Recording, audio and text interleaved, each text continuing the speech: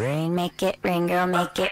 항상 공연 전에는 음, 많이 떨리고요. 이번 공연이 이제 한국 어, 에서 마지막 공연이라 이번에 온 여행에서 그래서 어, 재밌게 네, 잘했으면 좋을 것 같아요. 어, 도착해서는 바로 집에 가서 잘 몰랐는데 첫 핸즈 공연했을 때 어, 관객이 저번과는 많이 달, 다른 분들이 많이 와주셔서 예, 그때 처음으로 되게 쇼크받고 느꼈던 것 같아요. 네. 어, 언제 나올지는 확실히는 모르겠는데요. 어, 지금 만든 곡들이 많이 있어서 곧 나오지 않을까. 네.